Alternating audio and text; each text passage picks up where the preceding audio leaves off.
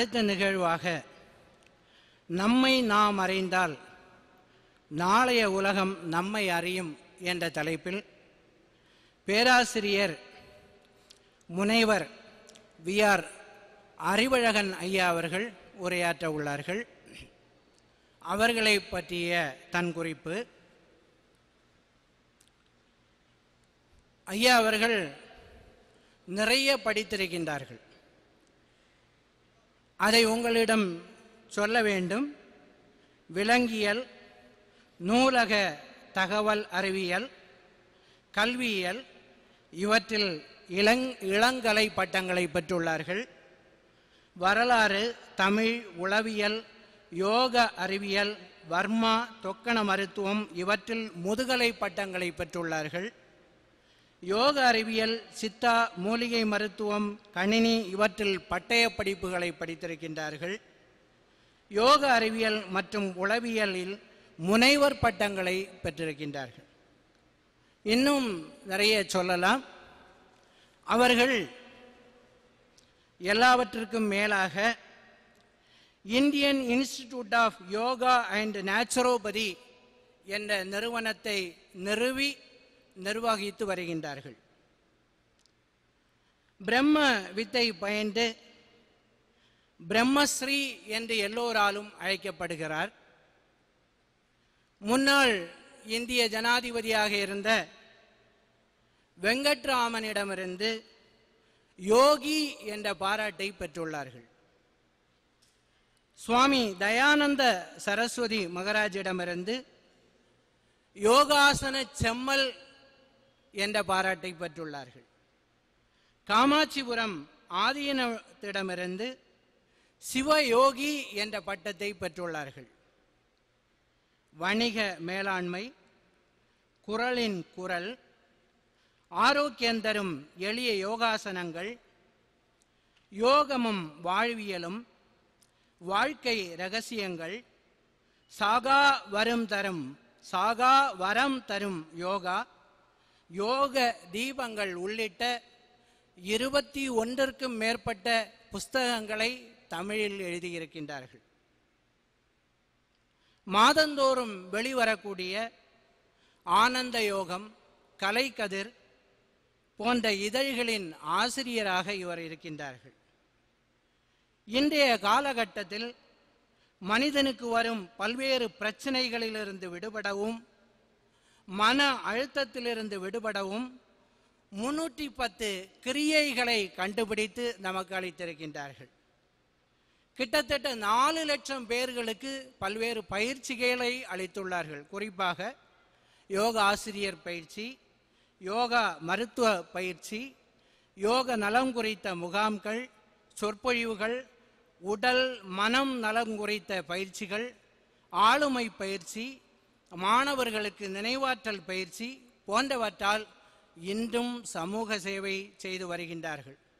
அவர் இப்போது நம்மிடையே நம்மை நாம் அறிந்தால் நாளைய உலகம் நம்மை அறியும் என்ற தலைப்பில் உரையாற்ற உள்ளார்கள். அவர்களை நமது மாணவர்கள் சார்பிலும் முகாமின் சார்பிலும் வருக வருக என்று வரவேற்பதுடன் இப்போது மாணவர் ஒருவர் அவருக்கு மலர் மாலை அணிவிப்பார்கள்.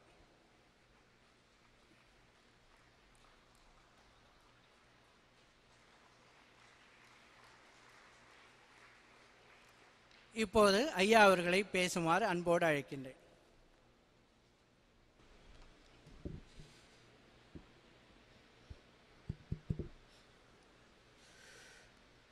மனம் தரும் நம்பிக்கை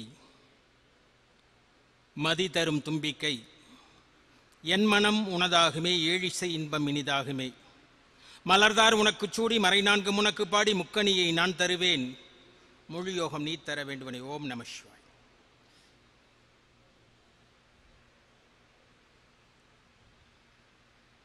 இந்த அற்புதமான அரங்கினிலே வீற்றிருக்கின்ற சுவாமிஜிக்கள் ஆசிரிய பெருமக்கள் மற்றுமுள்ள ஆர்வலர்கள் அனைவருக்கும் என் நெஞ்சார்ந்த நல்வணக்கத்தை சொல்லி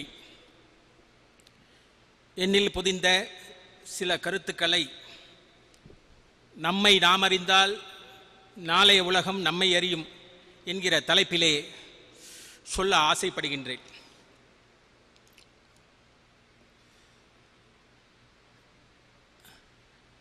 எந்த பொருளாக இருக்கட்டும் ஒரு தோற்றம் என்று ஒன்று இருந்தால் அதற்கு முடிவு என்று ஒன்று உண்டு. மெடிசின் எடுத்துக்கிட்டால் கூட ஒரு எக்ஸ் மேனுஃபேக்சரிங் டேட்டுன்னு போட்டிருப்பாங்க எக்ஸ்பைரி டேட்டுன்னு போட்டிருப்பாங்க. நாம் வாழுகின்ற இந்த பூமி கூட ஒரு கால நிர்ணயம் செய்யப்பட்டு அந்த பூமியிலே நம்ம வாழ்ந்து கொண்டு இருக்கிறோம் சதுர்யுகம் என்று சதுர நான்கு. கிருதாயுகம் திரேதாயுகம் துவாராயுகம் கலியுகம். இப்படி நான்கு யுகங்கள் உண்டு. அந்த முதல் யுகமான கிருதாயுகத்தில் இந்த லோகமானது ரெண்டு பிரிவாக இருந்தது. மேலோகம் பாதாள லோகம். தேவர்கள் அரக் அசுரர்கள் என்று தனித்தனியாக வாழ்ந்து ஒருவருக்கொருவர் முரண்பட்டு அவர்கள் வாழ்க்கையை வாழ்ந்தார்கள் அவர்களும் முடிந்து போனார்கள் அந்த யுகமும் முடிந்து போனது.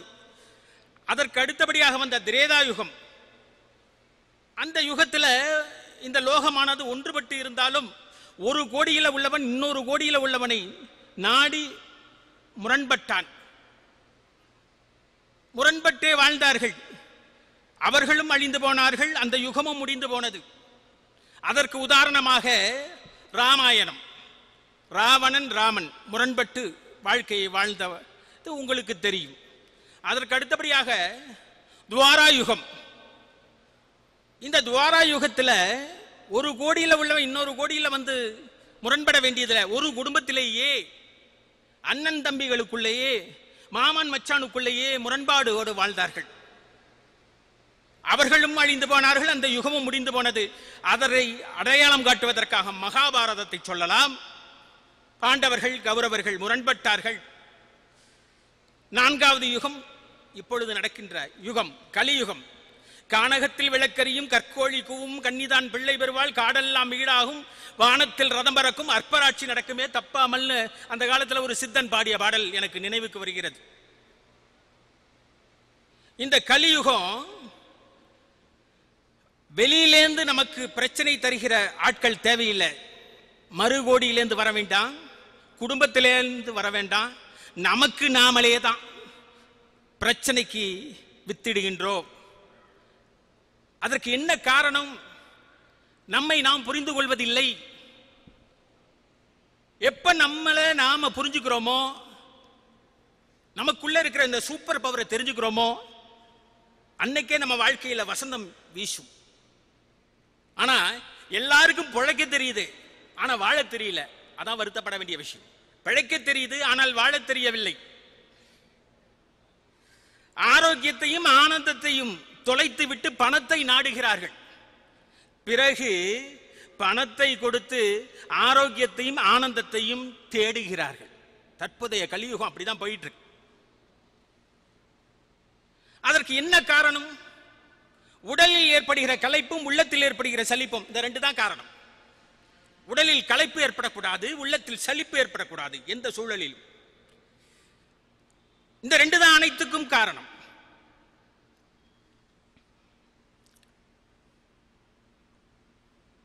இந்த உடலையும் உள்ளத்தையும் முதல்ல புரிஞ்சுக்கணும் இதை இணைக்கணும். அப்புறம் ஆன்மாவை இணைக்கலாம். முதல்ல உடலை பத்தி நமக்குள்ள இருக்கிற உடலை பத்தி நாம தெரிஞ்சுக்கணும். இந்த உடல்ல எத்தனையோ அவயங்கள் இருந்தாலும் ராஜ உறுப்புகள். யோகத்துல எத்தனையோ யோகம் இருக்கு. லய யோகம் கர்ம யோகம் தந்திர யோகம் சாங்கித யோகம் சன்னியாசி யோகம் ஹத யோகம் வாசி யோகம் இப்படி இருந்தாலும் ராஜயோகத்துக்கு ஒரு தனி மரியாதை உண்டு. அதுபோல எத்தனையோ அவயங்கள் நமது உடலில் இருந்தாலும் ராஜ உறுப்புகள் என்ற ஐந்து. இதயம் நுரையீரல் கல்லீரல் மண்ணீரல் சிறுநீரகம். இந்த ராஜ உறுப்புகள் இந்த ஐந்து. இந்த ராஜ உறுப்புகள் பஞ்சபூதங்களுடன் தொடர்பு வச்சுக்கிட்டே இருக்கும். கல்லீரல் என்பது ஃபயர் எலிமெண்ட் நெருப்போட தொடர்பு வச்சுக்கிட்டு இருக்கும். லங்ஸ் காற்றோட தொடர்பு வச்சிருக்கும். இதயம் நீரோட தொடர்பு வச்சிருக்கும். சிறுநீரகம் வானத்தோடு ஸ்கை தொடர்பு வச்சுக்கிட்டே இருக்கும். ஸ்பிளீன் என்று சொல்லப்படுகிற மண்ணீரல் பூ- பூமியோட தொடர்பு வச்சுக்கிட்டே இருக்கும்.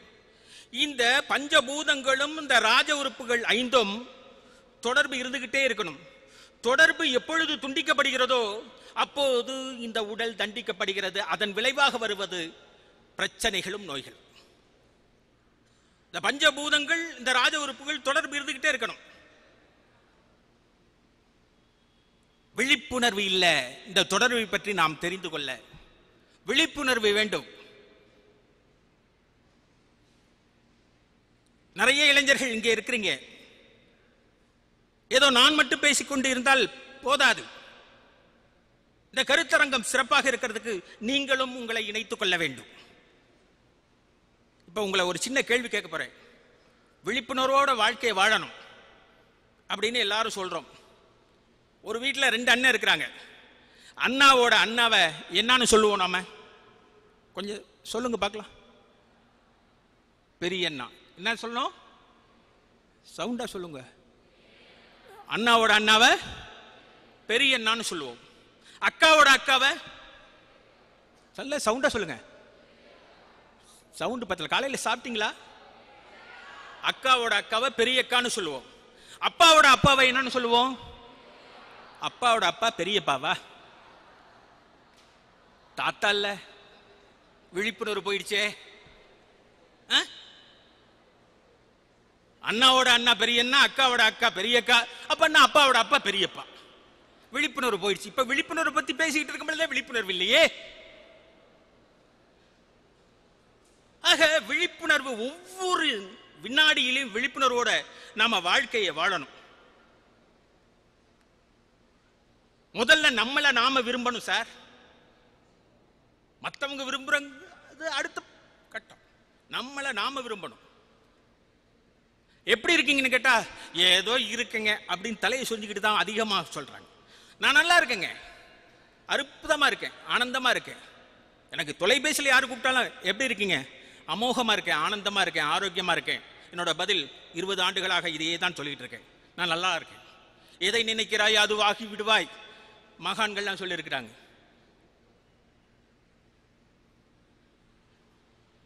எனக்கு இவ யாரையும் பிடிக்கலைங்க. புலம்புறோம். என்ன யாருக்கும் என்னை பிடிக்க மாட்டேங்குது. புலம்புறோம். என்னையவே எனக்கு பிடிக்கலைங்க. இது ரொம்ப கடைசி கட்ட புலம்பல். விழிப்புணர்வு இல்லை. சார் இங்க வாங்க அப்படின்னா உடனே என்னைவா உங்களை கூப்பிட்டா உடனே வந்துட வேண்டியது என்னையவா? சார் உங்களை தான் சார் வாங்க. என்னையவா எ- அதுக்குள்ள இந்த ப்ரோக்ராமே முடிஞ்சு போயிடும். இவர் புரிஞ்சுக்கிட்டு வர்றதுக்குள்ள. விழிப்புணர்வு ரொம்ப குறைவா இருக்கு. கண்ணிருந்தும் குருடர்களாக காதிருந்தும் செவிடர்களாக வாயிருந்தும் ஊமையர்களாக வாழ்ந்துகிட்டு இருக்கோம். நமக்குள்ள அக்னி எரிஞ்சுக்கிட்டு இருக்கு சார். வயிற்றுல இந்த அக்னி எப்படி எரியணும்னு நாம நெறிப்படுத்தினா நம்ம சூப்பர்மேனா வந்துடுவோம் என்னோட வயித்தறிச்சல்னு பொதுவா கிராமப்புற மக்கள் சொல்லுவாங்க இங்க கையை வச்சு இங்க கை வச்சு சொல்ல மாட்டான் என் வயித்தறிச்சல் ஒன்று சும்மா விடாது. இந்த அக்னிக்கு பவர் ஜாஸ்தி. இந்த அக்னியை தூண்டிவிட வேண்டும். இந்த அக்னி மேல் நோக்கி எரிய வேண்டும். பக்கவாட்டிலோ கீழ் நோக்கி எரியக்கூடாது. மேல் நோக்கி எரிந்தால் அந்த அக்னி ஞானாக்னி என்று சொல்லப்படும். சிதறி பக்கவாட்டில் இருந்தால் அது ஞானாக்னி என்று சொல்லப்படும். ஞானாக்னி எரியும் பொழுது பரியங்க யோகம் தலை தூக்கும். காமாக்னி எரியும் பொழுது பரியங்க யோகம் தலை தூக்கும். ஞானாக்னி எரியும் பொழுது பக்தி யோகம் தலை தூக்கும். இந்த ஞானாக்னி எரியறதுக்கு நம்ம என்ன பண்ணணும்? அடிப்படை தேவை என்ன? அன்பு காட்டணும்.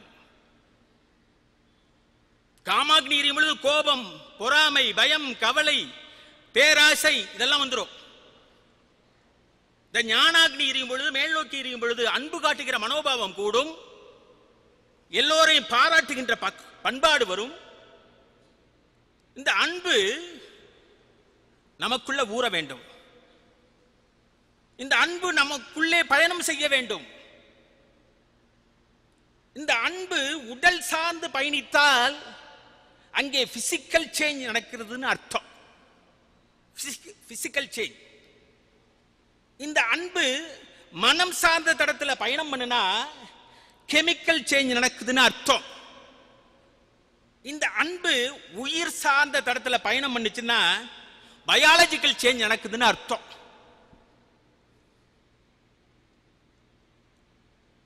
இங்கே என்னமோ கெமிஸ்ட்ரி போல நடத்துகிறோம் பாடம் அப்படின்னு சிலர் மாணவ செல்வங்கள் நினைக்கலாம். எளிமைப்படுத்தி சொல்றேன். ஞானாக்னி காமாக்னி. இந்த ரெண்டுக்கு வித்தியாசம்.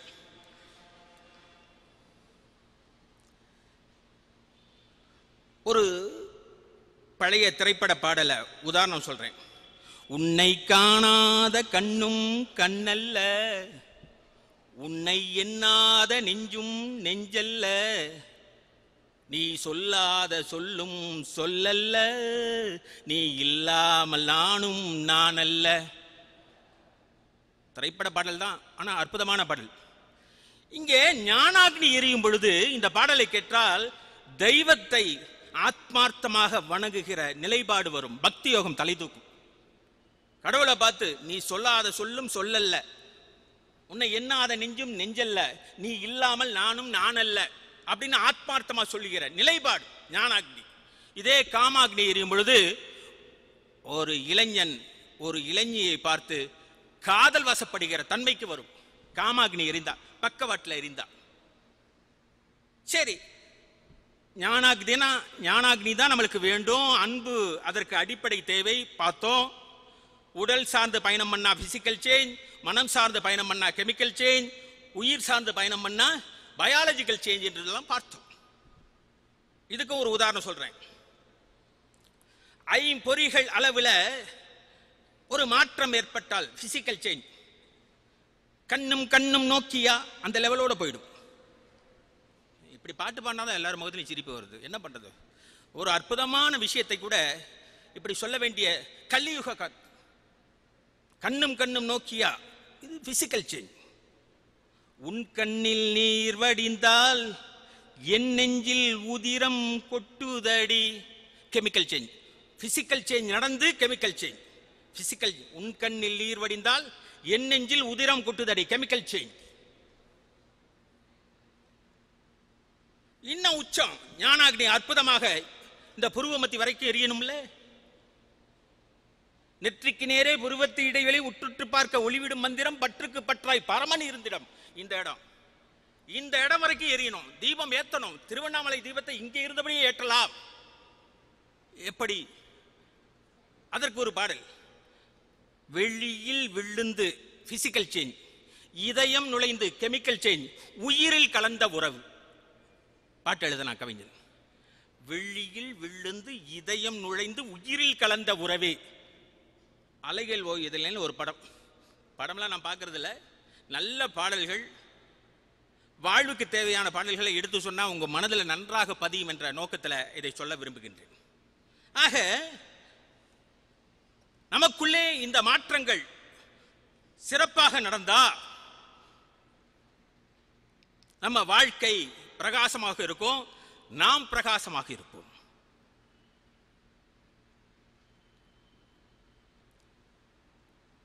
எனக்கு முன்னர் பேசிய சுவாமிஜி அவர்கள் புத்தகங்கள் படிக்க வேண்டும் என்று சொன்னார். கண்டிப்பாக ஒவ்வொரு வீட்லையும் படிக்கிறதுக்குன்னு ஒரு ஸ்டடி ரூம் வைக்கணும். என்னுடைய ஆதங்கம் அதான்.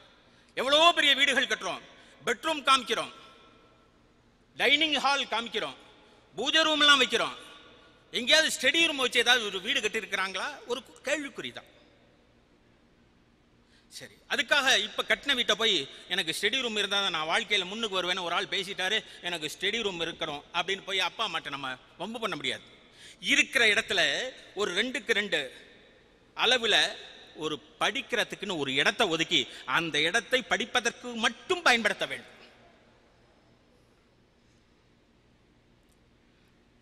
அந்த படிக்கிற இடத்துல நூல்களை வைக்க வேண்டும். எல்லோருமே சுவாசிக்கிறோம். சிலரே நூல்களை வாசிக்கின்றோம்.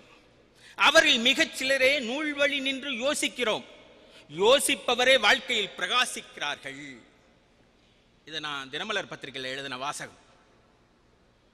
எல்லோருமே சுவாசிக்கிறார்கள். சிலரே நூல்களை வாசிக்கிறார்கள். அவரில் மிகச் சிலரை நூல்வழி நின்று யோசிக்கிறார்கள். யோசிப்பவரே வாழ்க்கையில் பிரகாசிக்கிறார்கள். அதனால நூல்கள் படிக்கணும் அழகா சொன்னார் சுவாமிஜி அவர்கள். பொறுமை வேண்டும். ஆத்மார்த்தமான குரு பக்தி வேணும். அப்பதான் நமக்குள்ள இருக்கிற பவரை தெரிஞ்சுக்க முடியும். அவசரம் படபடப்பு பரபரப்பு. இந்த மூணு தான் இந்த தெய்வ ஞானத்துக்கு தடைக்கல்லாக இருப்பது. நமக்குள்ள இருக்கிற அந்த சூப்பர் பவரை வெளியில விடாம அமுத்துறது. இந்த படபடப்பு பரபரப்பு அவசரம் இருக்கக்கூடாது. ஒரு குரங்கு குட்டி தான் வாழ்கிற இடத்துல ஒரு தோட்டம் போடணும்னு ஆசைப்பட்டது. உங்களுக்கு தெரிஞ்ச கதையை சொல்கிறேன் உதாரணம். அது தன்னுடைய தாய் குரங்கிட்ட போய் அம்மா நான் இங்கே ஒரு கார்டன் போடலான்னு இருக்கேன். அப்படின்னு அந்த குரங்குடைய தாய் குரங்கு பெரிய குரங்கு என்ன சொல்லிச்சா இந்தா இதில் நிறைய பூச்செடிகளுக்குள்ள விதைகள் இருக்குது அந்த இடத்துல நீ தோட்டம் போடு அப்படின்னு சொன்னிச்சான் உடனே குரங்கு குட்டியும் விதைகளை அங்கங்கே போட்டுட்டு தினமும் தண்ணி ஊற்றிச்சான் பத்து நாள் ஆனதுக்கப்புறம் ஒரு விதையும் முளைக்கலை நேராக தாய் குரங்குகிட்ட போய் அம்மா அம்மா நீங்கள் கொடுத்த குர விதையெல்லாம் போட்டேன். ஒன்றுமே முளைக்கல. ஒன்றுமே முளைக்கல. தண்ணி ஊற்றிருக்க மாட்டேன். இல்லைம்மா தினமும் தண்ணி ஊற்றுனேன் காலையிலையும் ஊற்றினேன் சாயந்தரமும் ஊற்றுனேன் அப்புறம் ஏன் முளைக்கல? ஏதாவது பறவைகள் விதைகளை சாப்பிட்ருக்கும் கவலைப்படாதன்னுச்சான். பறவைகள் ஒன்றும் எந்த விதையும் சாப்பிட்லம்மா. அது எப்படி உனக்கு தெரியும்? விதை மண்ணுக்குள்ளே இருக்கான்னு நான் தினமும் எடுத்து எடுத்து பார்த்துட்டு தானே நான் ஊனி வச்சேன். அப்படின்னு இந்த குரங்கு குட்டி சொன்னதான். பொறுமை வேண்டும். ஒரு புதுக்கவிதை ஒன்று எழுதினேன். புழுவின் மீது மீனுக்கு ஆசை. மீனின் மீது மனிதனுக்கு ஆசை.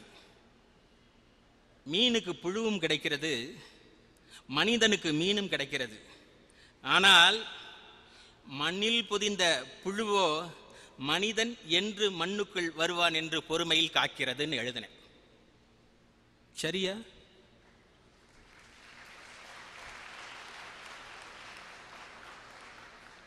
பொறுமை வேண்டும்.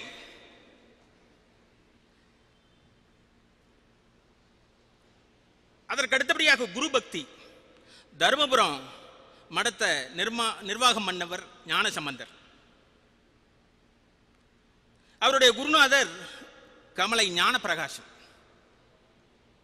குரு எங்க போறாங்களோ சிஷ்யர்கள் பின்னாடியே போவாங்க. அந்த காலத்து பழக்கம். இப்ப அப்படியெல்லாம் பழக்கம் இல்லை. சிஷ்யர்களை தேடி குரு போய் வகுப்பு வரீங்களாப்பான்னு கேட்குற கலியுகத்தில் வாழ்றோம். இப்போ நம்ம கிளாஸ் தானே? ஆமாம் சார் இங்கே நிற்கிற நீங்கள் சொன்னால் வரலான்னு இருந்தேன். மாணவர்கள் சொல்கிறாங்க ரொம்ப கொடுமையாக இருக்கு. இந்த ஞானப்பிரகாஷர் குருநாதர் அப்படியே நடந்து போயிட்டு இருக்கிறார் இருட்டுகிற நேரம். ஞான சம்பந்தர் அவருடைய சிஷ்யர் ஒரு தீபத்தை ஏற்றுக்கிட்டு கூடவே வந்துக்கிட்டு இருக்கிறார் வரும்பொழுது இந்த ஞானப்பிரகாஷர் குருநாதர் இருக்கார் அவருடைய குடில் வருது. சமந்தா சற்று பொறு இந்த வந்துடுறேன்னு வீட்டுக்குள்ளே போகிறார் போன சில நிமிடங்களில் கூட வந்த ஞான சம்பந்தரை மறந்துட்டு கதவெல்லாம் சாத்திட்டு படுத்துட்டார் ஞானப்பிரகாஷர் ச- பலமா மழை காத்து அடிக்குது. ரொம்ப காத்து அடிச்சு ஜன்னல்லாம் படபடன்னு சத்தம் கேட்டோன்னே இந்த ஞானப்பிரகாசர் மெதுவாக ஜன்னலை சாத்துறதுக்கு ஜன்னலை மூட வர்றார். ஜன்னல் வழியா பார்க்குறார் தன்னுடைய சிஷ்யனான ஞானசம்மதர் வெளியில தீபத்தை ஏத்தபடி நிக்கிறார். மழை கொட்டிக்கிட்டு இருக்கு. காத்து அடிச்சுக்கிட்டு இருக்கு. ஐயோயோ நம்ம பையனை மறந்துட்டோம்னு அல்லறி அடிச்சுக்கிட்டு வெளியில ஒடியாறார். வெளியில ஒடியாந்து பார்க்குறாரு. என்ன ஆச்சரியம். எங்குமே மழை கொட்டிக்கிட்டு இருக்கு. எங்குமே காத்து வீசிக்கிட்டு இருக்கு. ஞான சம்பந்தர் நிக்கிற இடத்துல மட்டும் ஒரு துளி கூட மழை இல்லை காற்று இல்லை. ஞானப்பிரகாசர் என்ன பண்ணார் தெரியுமா? சாஷ்டாங்கமா தன்னுடைய சிஷ்யங்காலில் விழுந்து எப்பா நீ தான் எனக்கு சொல்லித்தர வேண்டிய காலகட்டத்தில் நீ வந்துட்ட. இன்னமே நீ என்கிட்ட கற்றுக்க வேண்டியது ஒன்றும் இல்லைப்பா. சென்று வா அப்படின்னு அனுப்பிச்சி வைக்கிறார். அந்த அளவுக்கு குரு பக்தி ஒரு அற்புதமான விஷயத்தை நமக்கு கொடுத்து கொண்டு வரும். பாவம் செய்யக்கூடாது. நம்ம செய்கிற பாவங்கள் ஒவ்வொன்றையும் கடவுள் பார்த்து கொண்டிருக்கின்றார். இது நாம் பத்திரிகையில் எழுதின தலைப்பு செய்தி. நாம் செய்கிற பாவங்களை கடவுள் பார்த்து கொண்டிருக்கிறார். அந்த பாவத்தின் விளைவுதனை நாம் அனுபவிக்கும் பொழுது கடவுளை மனிதன் பார்த்து கொண்டிருக்கின்றான். இப்படிதான் போயிட்டு இருக்கு ஆக இந்த உடலை பற்றிய ரகசியங்கள் தொண்ணூத்தாறு ரகசியம் அதை பற்றிலாம் ஒவ்வொன்றும் பேசணும்னா அதுக்கு ஒரு யுகமே வேண்டும். அதற்கு அடுத்தபடியாக மனம் பற்றிய ஒரு செய்தி. மனம் போல மாங்கல்யம் மனம் போல மார்க்கம் அப்படியெல்லாம் சொல்லுவாங்க. இந்த மனதை புரிந்து கொள்ள வேண்டும். பொதுவாக மனதை பற்றி மாணவ செல்வங்கள் நிறைய இருக்கிறதுனால ஒரு செய்தியை சொல்ல வரும். நீங்க அடிப்படையில் தெரிஞ்சுக்க வேண்டிய மனம் ரெண்டு மனம். மேல் மனம் ஆழ்மனம். Conscious mind and subconscious mind இதை புரிந்து கொள்வதற்காக இதன் செயல்பாடுகளை புரிந்து கொள்வதற்காக ஒரு கதை எழுதி பரிசு வாங்கினேன் பல ஆண்டுகளுக்கு முன்பாக. பொதுவாக கண்கள் திறந்திருக்கிறப்ப மேல்மனம் வேலை செய்யும். இந்த மேல் மனத்தின் வேலை அக்கப்போர் பண்ணும் பொய் பேசும் முள்ளமாரித்தனம் பண்ணும் நல்லது கெட்டது தக்கது இன்னது தகாதது இன்னது ரெண்டும் தெரியும். எல்லா வேலையும் பண்ணும். ஆனா அந்த ஆழ்மனம் இருக்கு பாருங்க சப்கான்ஷியஸ் மைண்ட் அது நல்லது மட்டும் பண்ணும். எதை சொன்னாலும் ஏற்றுக்கொள்ளும். அன்பு காட்டும். ஆபத்துல உதவி பண்ணும் ஞாபக சக்தியை கொடுக்கும். அப்ப ரெண்டாவது இருக்கிற ஆழ்மண்டம் மட்டும் நமக்கு போதுமே அப்படின்னு நம்ம நினைக்க முடியாது. ஒரு திருடன் ஈத்தாப்பில் வந்து நான் ரொம்ப யோகின்னு சொன்னாலும் அப்படியே ஏற்றுக்கொள்ளும். இதே கான்சியஸ் மைண்டா இருந்தா ஏய் உன்னை பார்த்த திருட்டு பாய போல இருக்க. நீ நல்லவன் சொல்றியான்னு கேட்போம் ஆக ரெண்டு மனமும் வேணும். கண்கள் மூடி இருக்கிறப்ப இந்த ஆழ்மனம் வேலை செய்யும். கண்கள் திறந்து இருக்கிறப்ப மேல்மனம் வேலை செய்யும். ஒரு இளைஞன் ஆசைப்பட்டு ஒரு குதிரை வாங்க போறான். அங்க இங்க தேடி கடைசியில் ஒரு கோயில் பூசாரி கிட்ட போய் குதிரையை வாங்குறான்.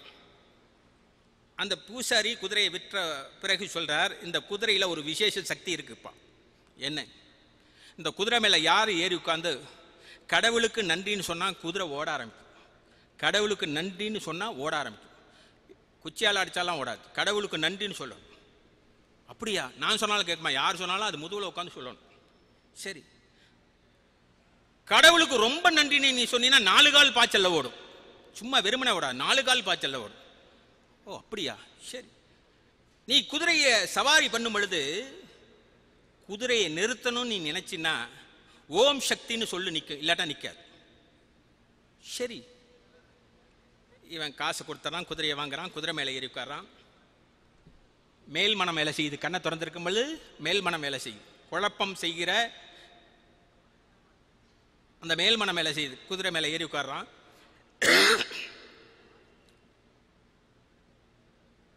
கு- கடவுளுக்கு நன்றிங்கிறான். குதிரை ஓட ஆரம்பிச்சிருது. இவனுக்கு ஏக சந்தோஷம். நம்ம பேச்ச கேட்டும் ஒரு ஜீவன் செயல்படுதுன்னு சந்தோஷம் தாங்க முடியல. கடவுளுக்கு ரொம்ப நன்றிங்கிறான். குதிரை நாலு கால் பாய்ச்சலில் ஓடுது. நாலு கால் பாய்ச்சலில் ஓடணும்னா இவனால குதிரையை கட்டுப்படுத்த முடியல. உடனே நிறுத்தணும்னு ஆசைப்படுறான். நிறுத்தணும்னா என்ன சொல்லணும்? ஓம் சக்தி. நீங்களாம் நல்ல பிள்ளைங்க ஞாபக சக்தியோட இருக்கிறீங்க சொல்லிட்டீங்க. அவனுக்கு மறந்து போச்சு. ஸ்டாப் ஸ்டாப்புங்கிறான் இழுத்து பார்க்குறான். குதிரை நின்ன பாடு இல்லை. அது நாலு கால் பாய்ச்சல பறந்துகிட்டு இருக்கு. ஒரு மலையோட முகட்டுக்கே போயிடுச்சு. மலையோட உச்சிக்கே போயிடுச்சு. அப்படியே பார்த்தா ஒரு பெரிய பாதாளம். ஒரு பெரிய ஆபத்து வரும் பொழுது மனிதனது இயல்பு கண்களை மூடிக்கொள்வது. இந்த பாதாளத்தை பார்த்தோன்னா உடனே கண்ணை மூடுறான் இப்படி கையை வச்சுட்டு. உடனே கண்ணை மூடணும்னு ஆழ்மனம் வேலை செய்து ஆபத்தில் உதவி செய்கிற ஞாபக சக்தியை தருகின்ற இந்த ஆழ்மனம் வேலை செய்து ஓம் சக்தின்னு அவனை அறியாம கத்துறான். நமக்கு இட்ட கட்டளையாக இந்த குதிரை நினைச்சுக்கிட்டு டக்குன்னு நிற்கிது தடுமாறி நிக்குது. தடுமாறி நிற்கிது ஏ மெதுவாக கண்ணை திறக்கிறான். நம்ம உயிரோட இருக்கிறோமா செத்துட்டோமான்னு சந்தேகத்தில். கண்ணை திறக்கிறான். தடுமாறி ஒரு அரை இன்ச் எட்ஜில் அப்படியே நிற்கிது அந்த குதிரை. அப்படி பார்க்குறோம் பெரிய பாதாளம். அப்பா அந்த கடவுளுக்கு ரொம்ப நன்றிங்கிறான்.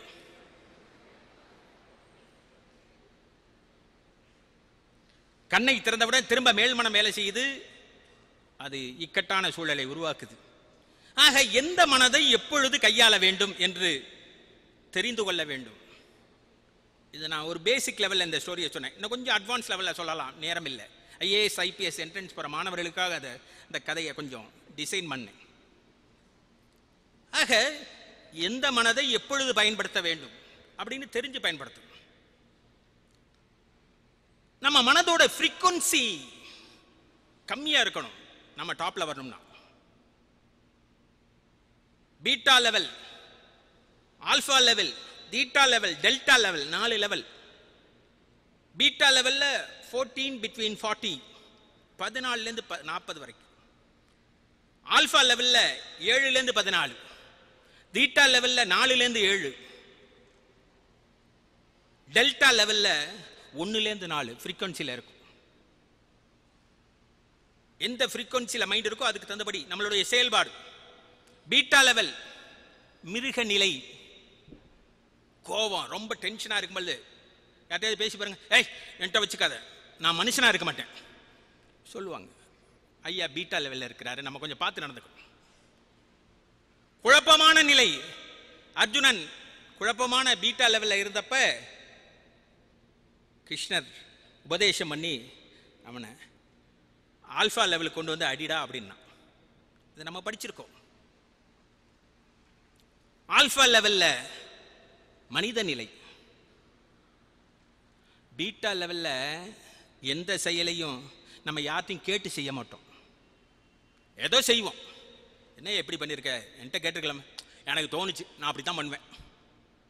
இது பீட்டா லெவல் இதே ஆல்ஃபா லெவலில் வந்தால் மனித நிலைக்கு வந்துட்டா சார் இதை எப்படி பண்ணுறது சுவாமிஜி இதை எப்படி பண்ணுறது நாலு பேர்கிட்ட கேட்டு கரெக்டாக பண்ணுவோம். இது ஆல்ஃபா லெவல் தீட்டா லெவலில் இன்னும் ஃப்ரீக்வன்சி குறையுது. ஃபோர் பிட்வீன் செவன் அப்படி இருக்கிறப்ப ஒரு தீர்க்கமான முடிவு எடுக்கணும்னா யாரையும் கேட்க வேண்டியதில்லை. தீட்டா லெவலில் மைண்ட் வந்துருச்சு. கண்களை மூடி சிந்தனை பண்ணுவான். எண்ணங்கள் அழுத்தம் பெறும் பொழுது அது சிந்தனையாக மாறும். எண்ணம் அழுத்தம் பெறும் பொழுது அது சிந்தனை. ஒரு முறைக்கு பல முறை சிந்தனை பண்ணி ஒரு தீர்க்கமான முடிவுக்கு வருவான் அது சரியாக இருக்கும். இது தீட்டா லெவல் இது மகான்கள் செய்கிற நிலை. மனித நிலைக்கு மேல் உள்ள நிலை மகான் நிலை. யார்த்தையும் கேட்க மாட்டாங்க. சிந்தனை பண்ணி செய்வாங்க. அதற்கடுத்து உச்சநிலை டெல்டால் லெவல்ல ஃப்ரீக்வன்சி என்னென்னா ஒன் டூ ஃபோர் இருக்கும். ஒரு முடிவு எடுக்கணும்னா இது என்ன பண்ணலாம்? அப்படி பண்ணுப்பா. இப்படி பண்ணுப்பா டக் டக்குன்னு பதில் எப்படி உங்களுக்கு தெரியும்? என்னமோ தோணுச்சு. சரியா இருக்கும் பார். இது இறைநிலை. ஆக இந்த மனதின் நிலைகளை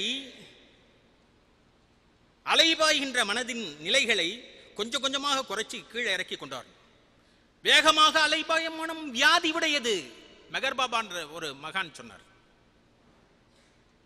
மெதுவாக அலைவாய் மனம் பத்திரமானது. அமைதியான மனம் தெய்வீகமானது. மனம் அமைதிப்பட வேண்டும்.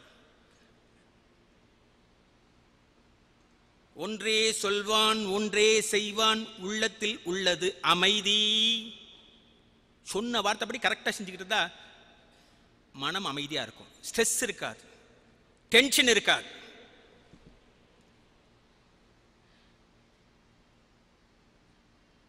ஆக மனதினை அலைபாய விடாம வேவரிங் மைண்ட் இல்லாம அமைதிப்படுத்தணும்.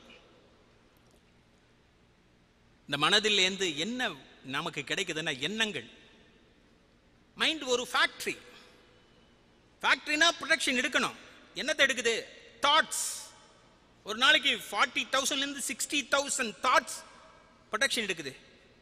ப்ரொடக்ஷன் எடுக்கணுமா? ரா மெட்டீரியல் வேணுமே? யார் ரா மெட்டீரியல் சப்ளை பண்ணுறா நமது கண் காது மூக்கு மெய் இதான் ரா மெட்டீரியல் கொடுக்குது.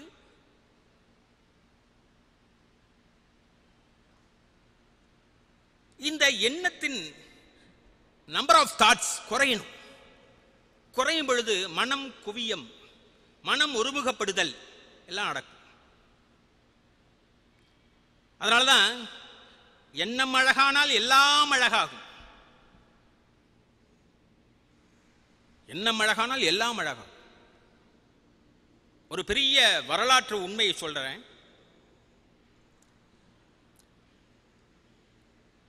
வள்ளுவர் எப்படி இருப்பார்? நம்ம போட்டோல எல்லாம் பார்த்துருக்கோம். உண்மையிலே அப்படிதான் இருக்கிறாரா? தாடியோட கையில எழுத்தாணியோட கையில ஓலையோட அப்படின்னா இல்ல. அரசாங்கம் ஒரு ஓவியனை பார்த்து இந்த வள்ளுவன் படத்தை வரைஞ்சு கொடு அப்படின்னு. அவனுக்கு அவங்க சொன்ன விஷயத்தெல்லாம் வச்சுக்கிட்டு படத்தை வரைஞ்சு கொடுத்தான். ஒரு மாடலை உட்கார வச்சு வரைஞ்சு கொடுத்தான். அதை அத்தனை பேரும் ஏற்றுக்கொண்டோம். ஆன்மீகத்தில் லட்சுமி சரஸ்வதி ரவிவர்மா ரெண்டு கொங்கணி பெண்களை மாடலாக வச்சு படம் வரைஞ்சார். வெள்ளை புடவையை கட்டி விட்டா சரஸ்வதி செவப்புடையை கட்டி விட்டா லட்சுமி அப்படிதான் ரெண்டு பேரும் லட்சுமி சரஸ்வதி முகத்தை பார்த்தீங்கன்னா ரெண்டும் ஒரே போல இருக்கும். கொங்கணி பெண்கள் ட்வின்ஸை மாடலாக வச்சு வரைஞ்சது. ஏற்றுக்கொண்டோம். அதே போல அன்பின் வடிவமான இயேசு பிரான். இப்போ நம்ம படத்துல எல்லாம் பார்க்கிறோம் போட்டோல. அது உண்மையான வடிவமா? இல்லை அதுவும் ஏற்றுக்கொண்ட வடிவம். டாமின்சியை கூப்பிட்டு த லாஸ்ட் சப்பர் அப்படிங்கிற ஒரு காட்சியை சொல்லி யூதாஸ் ஏசுபிரான் எல்லாத்தையும் வச்சு படம் வரைஞ்சு கொடுப்புங்க அப்படின்னோடனே சரி மாடல். ஓவியனுக்கு மாடல் வேண்டும். யூதாஸ் படத்தை வரைகிறதுக்கு ஒரு மாடல். அப்படி தேடுறான் கொலைகார கொடுமைக்கார குணம் படைத்த யூதாஸ் நிறைய மாடல் கிடைச்சாங்க. ஒரு மாடலை டக்குன்னு உட்கார வச்சு படம் வரைஞ்சிட்டான். அதற்கு அடுத்தபடியாக இயேசு பிரான் அன்பின் வடிவமான இயேசு பிரானை வரையணும். அன்பின் வடிவமான முகத்துக்கு மாடல் பார்க்கறான். கிடைக்கல. தேடுறான் தேடுறான் பல மாதங்கள் ஆச்சு ஒரு ஆறு மாத காலத்திற்கு பிறகு ஒரு ஆள் கிடைச்சான். சாந்தமாக அன்பின் வடிவமாக முகம். நீங்கள் எனக்கு நான் வரைகிற இயேசு பிரான் படத்திற்கு மாடலாக உட்கார முடியுமா? உட்கார்றேன் அப்படின்னு வந்து உட்கார்ந்துட்டார் அந்த ஆள். தூரிகை எடுத்துட்டு இயேசு பிரானை வரைகிறதுக்கு பார்க்கும் பொழுது இந்த ஓவியன் மனதிலே ஒரு எண்ணம். ஐயா நான் உங்களை எங்கேயோ பார்த்துருக்கேன். என்ன தெரியுமா? தெரியும். நீங்கள் யார்? நம்ம எப்போ பார்த்துருக்கோம்? இதுக்கு முன்னாடி யூதாஸ் படம் வரைஞ்சீங்கல்ல? அதுக்கு மாடலாக ஒருத்தரை உட்கார வச்சிங்கள அது நான் தான் என்னப்பா கொலைகார மனுஷனுக்கு மாடலாக உட்கார்ந்த ஆளா இன்று அன்பின் வடிவத்துக்கு நீ அடையாளமாக உட்கார்ந்துருக்கிற அப்படின்னு ஓவியன் கேட்குறான் அதுக்கு அந்த மாடலாக உட்கார்ந்தவன் சொல்கிறான் நான் அப்போ கொடுமையான குணத்தோடு தான் இருந்தேன். எதற்காக இந்த படம் தீட்டப்படுகிறது என்று எல்லாத்தையும் விசாரித்தேன் இந்த இயேசு பிரானை பற்றிய செய்திகளை எல்லாம் படித்து படித்து படித்து படித்து எனக்குள்ள மாற்றங்கள் பல மாற்றங்கள் நடந்து விட்டது என்னை பார்த்தாலும் என்னை பார்த்தாவே எல்லாரும் கையெடுத்து கும்பிடுகிற நிலையில் நான் வந்துக்கிட்டு இருக்கேன். அப்படின்னு அந்த மாடலாக உட்கார்ந்தவன் சொல்லும் பொழுது நல்லா கவனிங்க நமது எண்ணங்கள் நல்ல எண்ணங்களாக இருந்தா எப்படிப்பட்ட நிலையில் இருந்தாலும் நம்மை தூக்கி நிறுத்தும் என்பதற்கு இது ஒரு அடிப்படை உதாரணமாக சொல்லலாம்.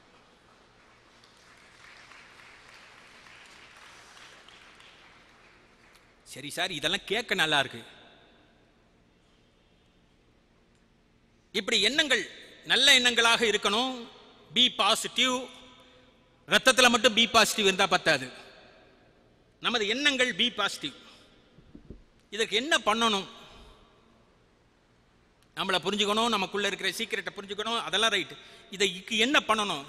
எளிமையாக ஒரு விஷயத்தை சொல்கிறேன் உடல் அசைவை அவ்வப்போது நிறுத்தி வையுங்கள். உடல் அசைவை அமைதியா ஒரு இடத்துல உடல்ல அசைவு இல்லாமல் உட்காருங்க. உடல்ல அசைவு இல்லைன்னாலே அற்புதங்கள் நடக்க ஆரம்பிச்சிடும் நம்ம அது உடலுக்குள்ள. மனக்குவியம் ஏற்படும். ஒரு மாணவ பருவத்தில் ஒருத்தன் உட்காந்து வகுப்பறையில் அப்படியே வாத்தியார் பாடம் நடத்துறார் படம் வரைகிறார் டயக்ராம் அதை வரைஞ்சிக்கிட்டே கையாட்டிக்கிட்டே இருக்கிறான். இப்படி இப்படி கையாட்டிக்கிட்டு இருக்கான் காலையும் ஆட்டிக்கிட்டு இருக்கான். வாத்தியார் நல்ல வாத்தியார். அப்படியே பார்க்குறாரு. அவன் காலை அப்படி பார்க்குறாரு. காலை ஆட்டிக்கிட்டு இருக்கிறானாவே அவன் மைண்டு வேவரிங்காக இருக்குன்னு அர்த்தம். உடனே டக்குன்னு அப்படி அலர்ட் ஆகி அப்படியே சின்சியராக அப்படி உட்காந்துக்கிட்டு படம் வரைய ஆரம்பிச்சான். இந்த உடல் அசைவு நின்று போகிறது. கை அசைவு நின்று போகிறது. முழுமையான ஈடுபாடு வந்து விட்டது. ஆக உடல் அசைவை அப்பப்போது அமைதிப்படுத்துங்கள் சாந்தப்படுத்துங்கள். அது இல்லாம நாம் எடுக்கின்ற மூச்சை மெதுவா ஆழமா எடுக்கணும் மெதுவா ஆழமா எடுக்கணும்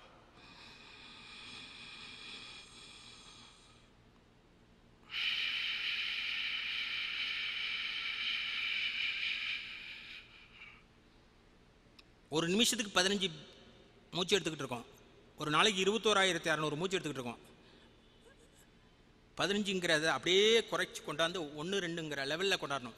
பயிற்சியாக பண்ணும்போது ஒரு நிமிஷத்துக்கு ஒரு மூச்சு எடுத்துடலாம். அதை பழக்கப்படுத்தி வழக்கப்படுத்தும் பொழுது கொண்டு வரதான் கஷ்டம். பயிற்சியை தொடர்ந்து பண்ணால் ஆக நமது எடுக்கின்ற மூச்சை ஆழமாக மெதுவாக எடுத்து பழகினா மனம் ஒடுங்கும். மனம் அடங்காதப்ப நம்ம மூச்சு எப்படி இருக்கும் தெரியுமா? ஏதோ ஒரு டென்ஷனில் மாட்டிக்குவான். இப்படி தான் மூச்சு இருக்கும். அவன் என்னை இப்படி ஏன் பேசினானே தெரியல. மனசு சலனப்படும் பொழுது மூச்சும் சலனப்படும். மூச்சு சிதறும். ஆக அந்த மூச்சினை ஆழமாக மெதுவாக எடுக்கும் பொழுது மனம் ஒடுங்கும்.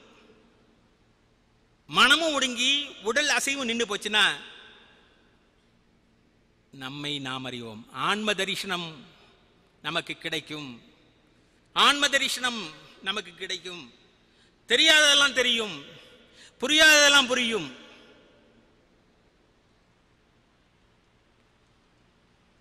இதற்கு இந்த பயிற்சி மட்டும் பத்தாது.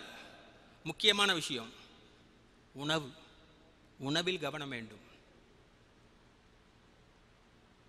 உணவில் ரொம்ப கவனம் வேணும். அறுசுவையோட உணவு சாப்பிட்டுக்கிட்டு இருக்கோம். துவர்ப்பு உவர்ப்பு இனிப்பு புளிப்பு கசப்பு கார்ப்பு அறுசுவை. அதுவும் லிமிட் தாண்டக்கூடாது லிமிட் தாண்டினா இடைஞ்சல். காரம் ஜாஸ்தியாக போச்சுன்னா அதிகாரம் பண்ண ஆரம்பிச்சிருவோம். காரம் ஜாஸ்தியாச்சுன்னா அதிகாரம்.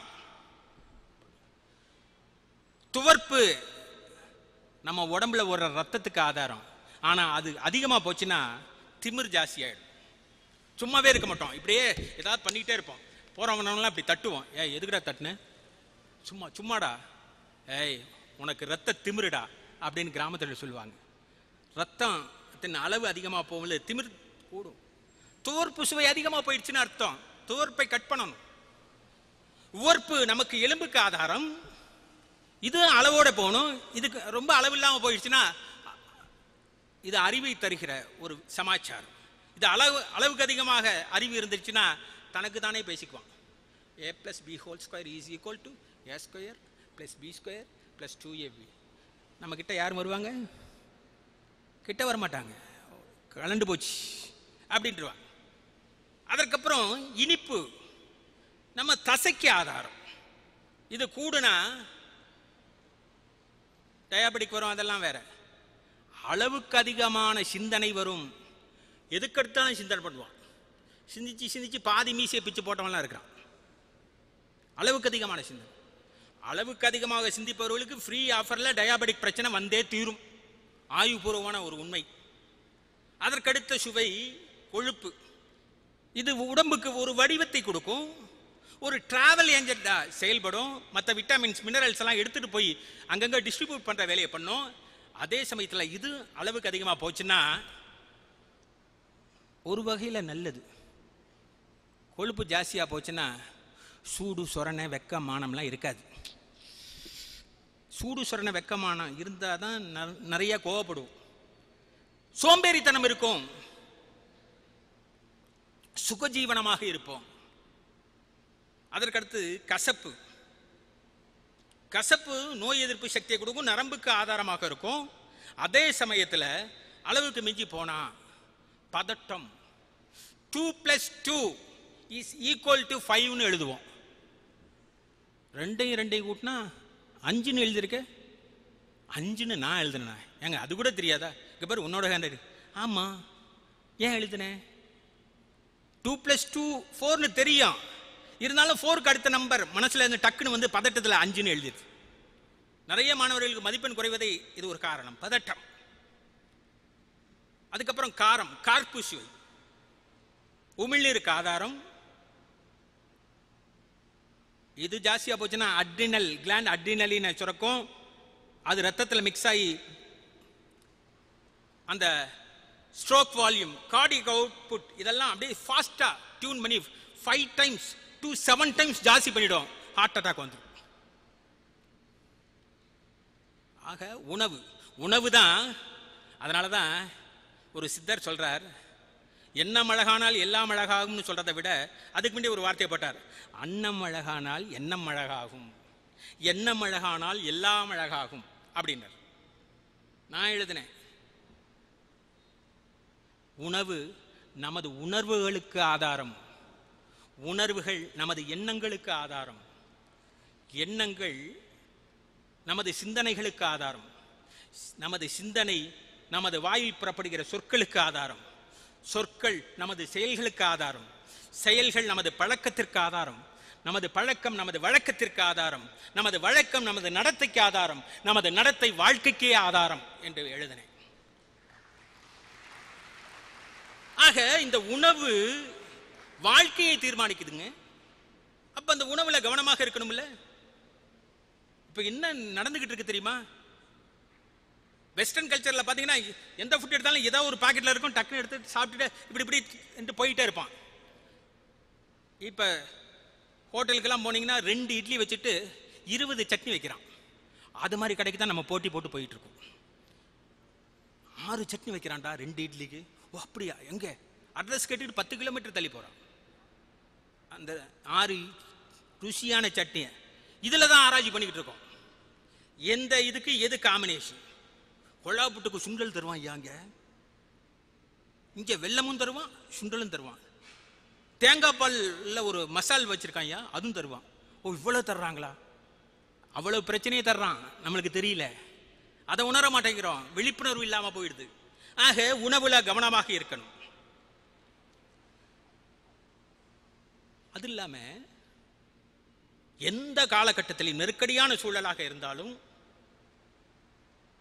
ஐயோ இப்படி ஆயிடுச்சேன்னு புலம்பக்கூடாது. வாய்ப்பு போயிடுச்சே புலம்பக்கூடாது. வாய்ப்பு கிடைக்கிறப்ப பயன்படுத்தினோம் வரங்கொடுக்கும் தேவதைகள் வந்தபோது தூங்கினேன் வந்தபோது தூங்கிவிட்டு வாழ்க்கையெல்லாம் ஏங்கினேன். அப்படின்னு இருக்கவும் கூடாது. சரி எல்லாரும் வாய்ப்பை அடிச்சிட்டு போயிட்டாங்களே எனக்கு ஒண்ணும் இல்லையே புலம்பக்கூடாது. ராமாயணம் மகாபாரதம்லாம் படிச்சா நம்ம வாழ்க்கையில வாழ வேண்டிய அத்தனை விஷயங்களுக்கும் அர்த்தம் அங்கே இருக்கிறது. அனுமனுக்கு ஒரு ஒரு இக்கட்டான நிலை. எல்லாம் போர்லாம் முடிஞ்சு திரும்ப ராமன் இங்கே வந்து ஆட்சிக்கு வர்றார். வானரப்படைகள் எல்லாம் கிஷ்கிந்தைக்கு புறப்படுது. அனுமன் மட்டும் முன்னாடியே அனுமதி வாங்கி வச்சிருக்கிறான். ராமா உங்களுடையவே கடைசி வரைக்கும் இருக்கணும். சரி இருந்துக்கோன்னு ராமனும் அனுமதி கொடுத்துட்டார். உனக்கு பணிவிடை செய்யணும் கொடுத்துட்டார். கிஷ்கிந்தைக்கு வானரப் படைகள் புறப்படுறோன்னு அதெல்லாம் அனுப்பிச்சி வைக்கிறதுக்காக அனுமன் வெளியில் போயிருக்கிறான். அந்த நேரத்தில் சீதை லக்ஷ்மணன் பரதன் எல்லாரும் சேர்ந்து பேசுகிறாங்க நம்ம ராமனுக்கு எந்த பணிவிடையும் நம்மளுக்கு செய்கிறதுக்கு வாய்ப்பே இல்லாமல் பண்ணிவிடுறான் அனுமன். எல்லா வேலையும் அவனே பண்ணுறான் இதுக்கு என்ன பண்ணலான்னு ஒரு டிஸ்கஷன் உடனே ராமன்ட்ட எல்லாரும் வந்து கேட்குறாங்க சீதை லக்ஷ்மணன் பரதன் எல்லாரும். உனக்கு பணிவிடை செய்கிறதுக்கு எங்களுக்கும் ஆசையாக இருக்குது எங்களுக்கு வாய்ப்பை கொடுக்கணும். அப்படின்னு சரி என்ன பண்ணலாங்கிறீங்க? எனக்கு இந்த வேலை சீதைக்கு இந்த வேலை பரதனுக்கு இந்த வேலை அப்படின்னு லிஸ்ட்டு போட்டு கொடுத்துட்றோம் அதை எங்களுக்கு அனுமதி கொடுத்துரும் ராமா. அப்படின்னு சரி கொண்டாங்க அப்படின்னு சிரிச்சுக்கிட்டே ராமன் அனுமதிக்கிறார். லிஸ்ட்டு போட்டு நாலு பேப்பரில் எழுதி கொண்டாந்து கொடுக்குறாங்க. ராமன் படித்து பார்க்குறான். சிரிப்பு தார சிரிப்பு வந்துடுது ஏன்னா எல்லா வேலையும் எழுதி வச்சுட்டாங்க. அனுமனுக்கு வேலையே இல்லை. அப்போ அனுமன் திரும்பி வந்துக்கிட்டு இருக்கான். அந்த அனுமனை பார்த்து நாலு பேர் சிரிக்கிறாங்க. வாயு புத்திரனான அனுமன் விவரமான ஏதோ நடந்திருக்கு. புரிஞ்சுக்கிட்டான். ராமன் அனுமனை பார்த்து அனுமா எனக்காக எவ்வளவோ பணிகள் செஞ்சுருக்கேன் இன்னமும் கொஞ்சம் ஓய்வு எடுத்துக்க. ஓய்வு எடுத்துக்கிறதுக்காக நான் சிறப்பு அனுமதி வாங்கிட்டு உன் பக்கத்திலே இருக்கிறேன்னு சொன்னேன். என்ன போய் ஓய்வு எடுத்துக்க சொல்றியே? ராமா அப்படின்னு அனுமன் கதறான். இல்லைப்பா இவங்களும் எனக்கு பணிவிடை செய்யணும்னு ஆசைப்பட்றாங்க. இந்தந்த வேலையெல்லாம் அவங்க பண்ணுறதா லிஸ்ட்டு கொடுத்துருக்காங்க. அப்படின்னு. ராமா அந்த லிஸ்ட்டெல்லாம் என்கிட்ட கொடு ராமா. அதில் விட்டு போன ஏதாவது வேலை இருந்தால் நான் செய்கிறேன் அப்படின்னு அனுமன் கேட்குறான் இந்த நாலு பேருக்கு சிரிப்பு வந்துருச்சு. ஏன்னா எல்லா வேலையும் எழுதிட்டாங்க. ராமனை சிரிச்சுக்கிட்டே அந்த நாலு தாளையும் கொடுத்தோன்னே நாளையும் பிரட்டி பார்க்குற அனுமன். எல்லா வேலையும் அதில் எழுதியிருக்கு. அனுமன் கலங்கலை. கண்களை மூடி அப்படியே ஒரு வினாடி யோஜனை பண்ணுறார் ராமா இதில் ஒரு வேலை விட்டுருக்கு. அதை நான் செய்யட்டுமா? என்ன வேலை விட்டுருக்கு? ராமா நீ எப்பயாவது கொட்டாவி விட்டினா இந்த வாய்க்கு நேரம் அந்த சொடுக்கு போடுற வேலை அவங்க எழுதலை. அந்த சொடுக்கு போடுற வேலையை நான் செய்யட்டுமா? ராமன் கேட்குறான் இது ஒரு வேலையா? சொடுக்கு போடுறது ஒரு வேலையா? இல்லை ராமா அது ஒரு பெரிய வேலை சா அது என்ன பெரிய வேலை? மற்ற வேலை செய்கிறதுனா உன் பக்கத்துலேயும் நிற்கணும் அங்கே இங்கே போயிட்டு வரணும். இந்த கொட்டாவிக்கு சொடுக்கு போடுற வேலை இருக்கே சதா இருபத்தி நாலு மணி நேரமும் உன் முகத்தை பார்த்துக்கிட்டே இருக்கணும்.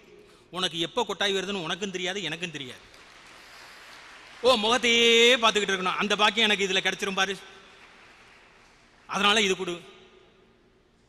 ராமன் உட்பட எல்லாருமே அதிர்ந்து போனார்கள்.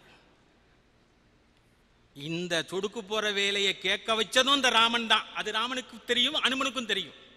ஆக நமக்கு வாய்ப்பு போயிடுச்சேன்னு கலங்கக்கூடாது எந்த தருணத்திலையும்.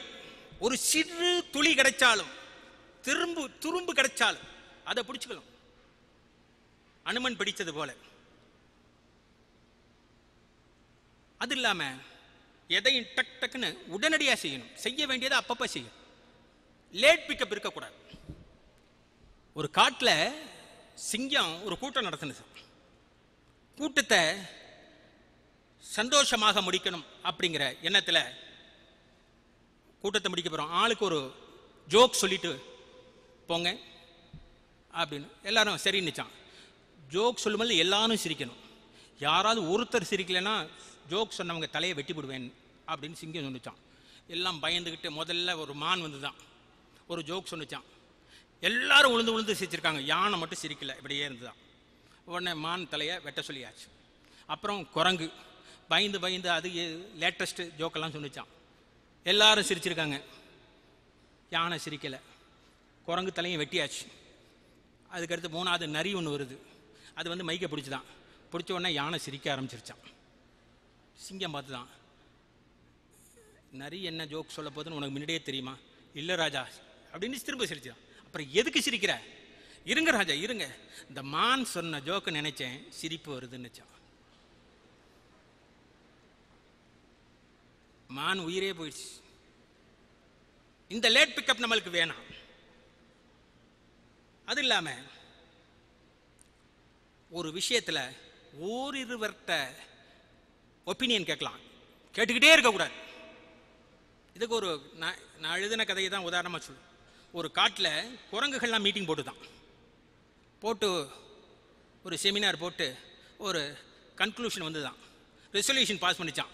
மனிதர்கள் அங்கங்கே ஃபாஸ்டிங் இருக்கிறாங்க உடம்புக்கு நல்லதுன்னு சொல்கிறாங்க நம்மளும் மாதம் ஒரு முறை ஏகாதசி அன்னைக்கு ஃபாஸ்டிங் இருக்கணும். சரி. நாளைக்கு ஏகாதசி வருது நாளைக்கே ஆரம்பிப்போம். ஓகே. காலையில் ஆறு மணிலேருந்து சாயந்தரம் ஆறு மணி வரைக்கும் விரதம் இருக்கணும். இதே இடத்துல குரங்கு கூட்ட தலைவர் உத்தரவு போட்டார். மறுநாள் அத்தனை குரங்கு வந்தாச்சு. எல்லாரும் உட்காந்தாச்சு தலைவர் வர்றார். விரதத்தை ஆரம்பிக்கலாமன்னொன்னு ஒரு குரங்கு கையத்தை குனிச்சான். என்ன? ஒரு சந்தேகம் ஒரு கருத்து. என்ன சொல்லு? சாயந்தரம் ஆறு மணி வரைக்கும் விரதம் இருந்துட்டு அதுக்கப்புறம் இருட்டினதுக்கப்புறம் சாப்பாட்டுக்கு எங்கே போகிறது அதுக்கு என்ன பண்ணலாங்கிற? நீங்கள் அனுமதி கொடுத்தீங்கன்னா இப்போயே சாப்பாடை கொண்டாந்து வச்சுக்குவோம். சாயந்தரம் ஆறு மணிக்கு மேலே சாப்பிட்டுக்கலாம். ஓ நல்ல கருத்து. அப்படின்னு அக்செப்ட் பண்ணிக்கிட்டார். உடனே ஒரு அஞ்சாறு குரங்கு போய் பெரிய பெரிய வாழைத்தாரை கொண்டாந்து வச்சுதான். சரி விரதத்தை ஆரம்பிக்கலாமா அப்படின்னோடனே இன்னொரு குரங்கு கையை துக்குனிச்சான் என்ன? சாயந்தரம் ஆறு மணி வரைக்கும் விரதம் இருந்துட்டு பசி தாங்க முடியாமல் நமக்கு இந்த வாழைப்பழம் கிடைக்குமோ கிடைக்காதோன்னு நம்மளுக்குள்ளே முண்டி அடித்து சண்டை சச்சரவெல்லாம் வர்றதுக்கு வாய்ப்பு இருக்குது அதுக்கு என்ன பண்ணலாங்களே? இப்போயே ஆளுக்கு ரெண்டு டிஸ்ட்ரிபியூட் பண்ணிட்டீங்கன்னா கையில் வச்சுக்குவோம். சாயந்தரம் ஆறு மணிக்கு மேலே விரதத்தை முடிச்சுக்கலாம். ஆ நல்ல கருத்து. எல்லாம் ரெண்டு ரெண்டு பழம் டிஸ்ட்ரிபியூட் பண்ணியாச்சு. எல்லாம் ரெண்டு ரெண்டு பழத்தை கையில் வச்சுக்கிட்டு இருக்கும் பொழுது இன்னொரு குரங்கு கையை துணிச்சான் என்ன? சாயந்தரம் ஆறு மணி வரைக்கும் விரதம் இருந்துட்டு அப்புறம் அந்த தோலை உரிக்கிறதுக்கு இந்த உடம்புல தெம்பு இருக்கோ திராணி இருக்கோ தெரியல. அதுக்கு என்ன பண்ணலாங்கிற? இப்பயே உரிச்சு வச்சுக்கிட்டா சாயந்தரம் ஆறு மணிக்கு மேலே சாப்பிட்லான்னு. ஆ இது நல்ல கருத்து செய்யலான்னுச்சான் சரி விரதத்தை ஆரம்பிக்கலாமா அப்படின்னு இன்னொரு குரங்கு எழுந்துச்சான். என்ன? சாயந்தரம் ஆறு மணி வரைக்கும் இது அப்படியே உரிச்ச பழத்தை வச்சுக்கிட்டே இருந்தா ஈ கொசு எல்லாம் முக்கிறதுக்கு வாய்ப்பு இருக்குது டெங்கு காய்ச்சலுங்கிறாங்க சிக்கன் குனியாங்கிறாங்க இந்த வம்பெல்லாம் வந்துடும் அதுக்கு என்ன பண்ணலாங்கிற? எந்த ஜீவராசிக்கும் இல்லாத ஒரு அம்சம் நம்ம குரங்கு கூட்டத்துக்கு இருக்குது கண்ணக்கதுப்பில் எவ்வளோ வேணாலும் உணவை அடக்கிக்கலாம். ராஜா அனுமதி பண்ணால் இந்த பக்கம் ஒரு வாழைப்பழம் இந்த பக்கம் ஒரு வாழைப்பழம் விட்டுக்கிறோம். சாயந்தரம் ஆறு மணிக்கெலாம் மொத்தமாக உள்ளே விட்டுக்கிறோம்னுச்சான் ஓ இது நல்ல கருத்து. அது விரதம் விரதமாக இருக்குமா? அது தான் பல பேரிட அந்த சஜஷன் கேட்குறது அளவான சஜஷன் போதும். தீர்க்கமாக அப்போ நம்ம முடிவு எடுக்கணும். அது இல்லாமல் ரெண்டு செய்தியை சொல்லி நேரம் கருதி நிறைக்க விரும்புகிறேன் வாய்ப்பு கிடைக்கிறப்பெல்லாம் முகத்தை சிரிச்ச முகமாக வைங்க. உரங்கொட்டாம்பலேயே நிறைய பேர் இருக்கிறாங்க. ரொம்ப கஷ்டமான. சிரித்து பழக வேண்டும். ஓடத் தெரியாத மான்கள் இல்லை நீந்தத் தெரியாத மீன்கள் இல்லை ஆடத் தெரியாத மயில்கள் இல்லை கூவத் தெரியாத குயில்கள் இல்லை ஆனால் வாழத் தெரியாத மனிதர்கள் உண்டு அதிலும் சிரிக்கத் தெரியாத ஜென்மங்கள் உண்டு. அப்படின்னு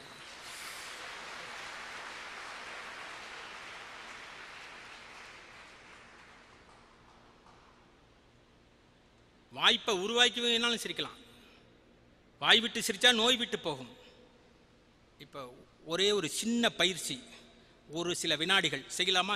சிரிக்கிறதுக்குன்னு. லாஃபிங்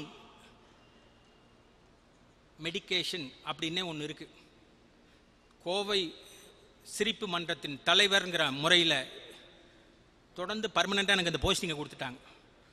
பத்து வருஷமாக இருக்கிறேன். நான் என்னை சுற்றி உள்ளவங்களை சிரிக்க வைக்கிறதுக்கு நான் படுற பாடு எனக்கு தான் தெரியும். என் பழப்பு சிரிப்பாக சிரிச்சிடுது சரி இங்கெல்லாம் இப்போ. அதுக்குள்ளேயே சிரிக்க தயாராகிட்டுங்க சிரிக்கலாமா? நிறைய சிரிப்பு இருக்குது சத்தம் இல்லாமல் சிரித்தா ஹார்ட்டுக்கு நல்லது.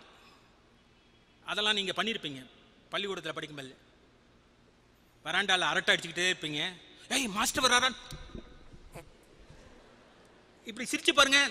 இந்த- செஸ்ட் போர்ஷன் லோட் ஆகும். செஸ்ட்டுக்கு நல்லது. இது சத்தம் இல்லை. இப்போ டிரைவிங் லாஃப் கையை எப்படி வச்சிருங்க? கார் ஓட்ட போறீங்க. சிரிச்சுக்கிட்டே கார் ஓட்ட போறீங்க. இது ஒரு அற்புதமான வாய்ப்பு. பயன்படுத்துங்க. அப்புறம் வெளியில் போனாலும் சிரிக்கிறதுக்கு வாய்ப்புகள் குறைவாக இருக்குது அதனால் இங்கே பயன்படுத்துங்க. இப்படி வச்சுங்க. ரைட் சைட் டேர்ன் பண்ணும்பொழுது ஹா ஹா ஹா அப்படிங்கணும். லெஃப்ட் சைட் பண்ணும்பொழுது ஹோ ஹோ ஹோ அப்படின்னு சிரிக்கணும். ஓகே கெட் ரெடி நல்ல சவுண்டாக சிரிக்கணும். ரெடி ஸ்டார்ட் ஆ ஹா ஹா ஹா. ஓ ஹோ ஹோ ஹோ. ஆ ஹா ஹா ஹா. ஓ ஹோ ஹோ ஹோ. ஆ ஹா ஹா ஹா. ஓஹோ ஹோஹோ இந்த சிரிப்பில் என்ன நன்மை அப்படின்னா இந்த சிரிப்பு நமது பாவத்தை போக்கவும். பாவத்தை போக்குற சிரிப்பு. அக்ஷரம் அப்படின்னு சொல்லுவாங்க. பீஜம் அப்படின்னு சொல்லுவாங்க. மந்திரம்னு சொல்லுவாங்க. மந்திர யோகத்தில் உள்ள நுழைஞ்சா இதுக்குள்ள இதெல்லாம் தெரிஞ்சுக்கலாம். அக்ஷரம் அற்புதமான பவர் உள்ள எழுத்துக்களுக்கு அக்ஷரம். ஒரு ஒரு எழுத்து இல்லை ரெண்டு எழுத்து இணைஞ்சிருக்கும். பீஜம் நம்ம மூன்று எழுத்து அப்படின்னு இணைஞ்சிருக்கும். இதெல்லாம் சேர்ந்த மந்திரமாகும். இது இதில் ரெண்டு அக்ஷரம் இருக்கு. ஹ ஓ ஹா ஓஹோஹு ரெண்டு அக்ஷரம்.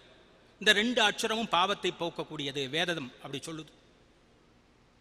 அதை மையமாக வச்சு தான் நம்ம பழனி முருகனுக்கு காவடி எடுக்கும்போது ஒரு சவுண்டு கொடுப்போம் தெரியுமா? கந்தனுக்கு முருகனுக்கு நல்லா அரகுரா போடுறீங்க. இப்படி போடாதீங்க. அரோகராங்கிறது தவறான பழக்கம். ஹரவோ ஹர. ஹரவோ ஹர. ஹர ஓ ஹர. இதான் சரியான சொல். இது அப்படியே மருவி. அரோகரா. அரோகரா. ரொம்ப கொடுமை. ஆரஸ்புரத்தில் பாதரகரண்டி வீதினா எல்லாருக்கும் தெரியும்.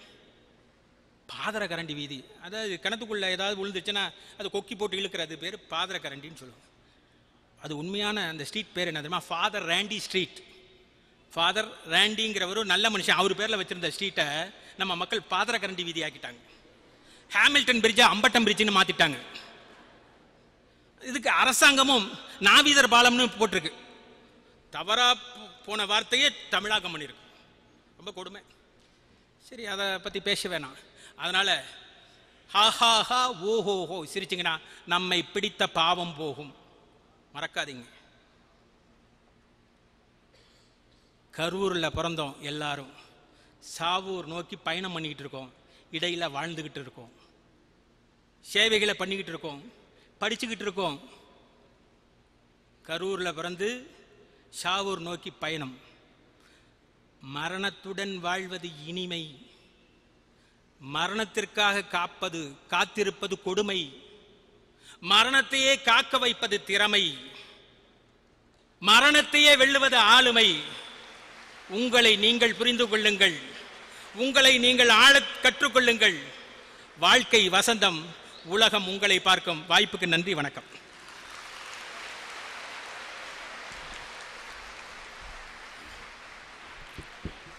இதுவரை மிக அற்புதமான ஒரு சொற்பொழிவை. நம்மை நாம் அறிந்தால் நாளைய உலகம் நம்மை அறியும் என்ற ஒரு அற்புதமான தலைப்பில் நமக்கு அருமையான ஒரு சொற்பொழிவை தந்தார்கள். ஒவ்வொரு வினாடியிலும் விழிப்புணர்வு தேவை. நூல் வழி நின்று யோசிப்பதே வாழ்க்கையில் பிரகாசிக்க முடியும். பொறுமை குருபக்தி போன்ற கருத்துக்களை சொல்லி எளிய உதாரண கதைகளுடன் பல்வேறு கருத்துக்களை எளிதாக உங்களுக்கு விளக்கினார்கள். எண்ணம் அழகானால் எல்லாம் அழகாகும் எண்ணம் போல் வாழ்வு என்ற கருத்தை சொன்னார்கள். உணவின் சிறப்பு பற்றி சொன்னார்கள். கடைசியாக ஒரு கிரியையை உங்கள் முன்பு செய்து காட்டினார்கள்.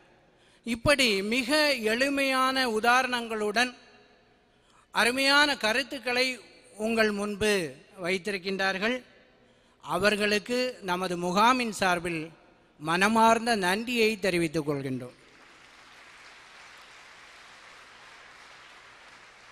வள்ளல் பெருமான் சொல்லுவார் தன்னையே அறிந்து வாழ வெண்ணிலாவே ஒரு தந்திரம் சொல்ல வேண்டும் வெண்ணிலாவே என்று வெண்ணிலாவை பார்த்து கேட்கப்பட்ட அந்த கேள்விதான் இன்றைக்கு மாறி உங்களுக்காக ஒரு நல்ல டாப்பிக்காக உங்கள் முன்பு கொடுக்கப்பட்டுள்ளது. அவர்களுக்கு நமது வித்யாலய சுவாமிஜி ஜவ்வ யக்ஞானஞ்சி மகாராஜ் அவர்கள் நினைவு பரிசு வழங்கி இந்நேரத்தில் கௌரவிப்பார்கள்.